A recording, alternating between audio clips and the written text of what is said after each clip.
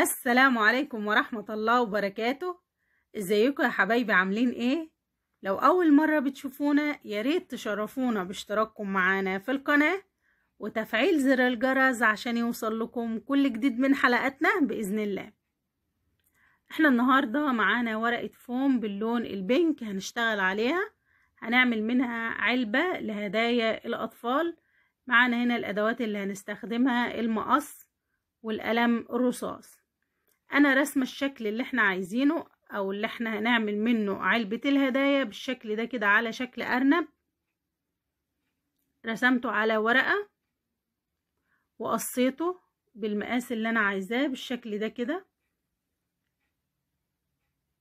بحيث إن إحنا لما نرسمها على ورقة الفوم تبقى مقاساتنا مظبوطة. هناخد الورقة كده وهنحطها على ورقة الفوم. وهنبتدي نعلم حوالين الرسمة بالقلم الرصاص بالشكل ده كده. واحدة واحدة كده وبمسك الورقة كويس عشان يبقى الرسمة مظبوطة بالشكل ده كده.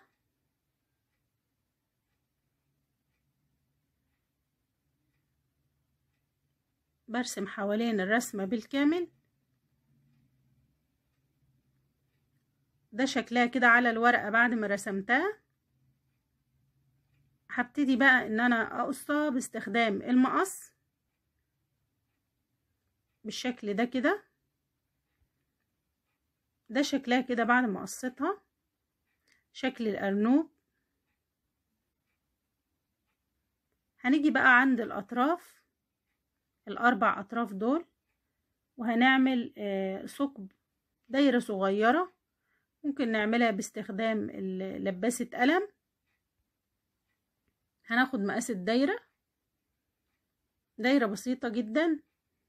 بعلمها كده. على الأربع أطراف. وعند راس الأرنب. من ناحيتين بالشكل ده كده. ده شكل الدايرة. هقصها بقى باستخدام المقص. أو ممكن لو عندك الخرامة اللي هي بتاعة الورق ممكن نعمل منها برضو الدواير على الأربع أطراف. ده شكلها كده بعد ما قصيتها. بالشكل ده كده بقى عندنا العلبة اللي هنحط فيها الهدية للأطفال. ممكن نحط فيها لعبة صغيرة ممكن نحط فيها بونبوني للأطفال. ممكن نحط فيها الملبس بتاع السبوع. تنفع علبة هدايا نقدمها في أي مناسبة. معايا هنا سلك رباط.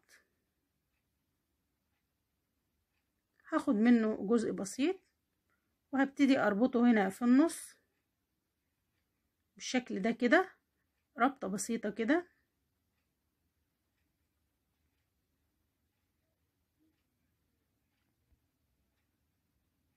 وهاجي عند الطرفين بتوع راس الأرنوب وهاخد الجزء اللي متبقي من السلك وأحطه في النص كده كويس وبعمل ربطة بسيطة. وبعدين هعمله على شكل فيونكة بحيث إنها تدينا شكل حلو للأرنوب بالشكل ده كده.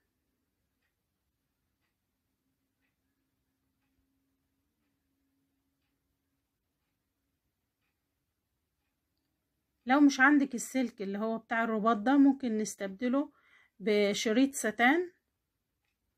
نعمل منه الرابطة ونعمل منه الفيونكة هيبقى شكلها جميل جدا برضو.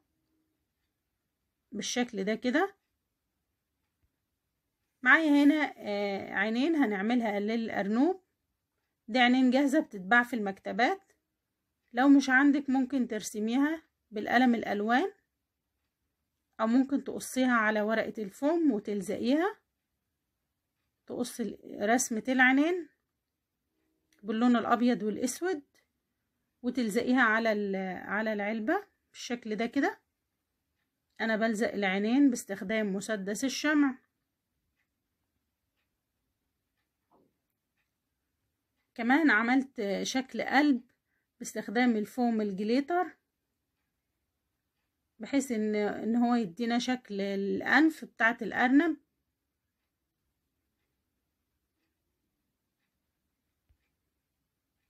بفك اللزق من عليها وبلزقها بالشكل ده كده.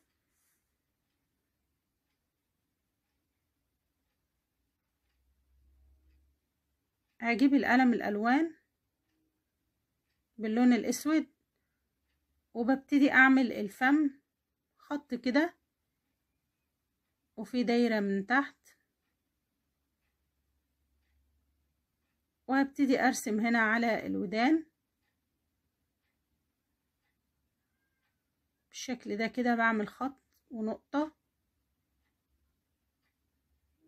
حوالين الودان من الداخل. بقت معانا بالشكل ده كده ده شكله. وكمان عملت له الشارب. بالشكل ده كده. هنا رسمت الفم ورسمت كمان الحواجب وعملت الودان بتاعة الأرنب. بقى معانا جاهز بالشكل الجميل ده. طبعا شكل العلبة هيعجب الأطفال جدا. كمان رسمت هنا آه وردة على ورق الفوم الجليتر.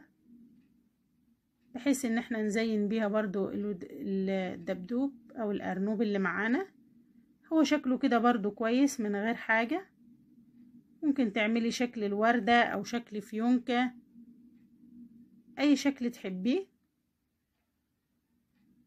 بقت معانا كده علبة الهدايا جاهزة بالشكل الجميل ده. طبعا العلبة دي تنفع في المناسبات أي مناسبة. ممكن في أعياد الميلاد للأطفال نحط فيها الهدايا والبونبوني.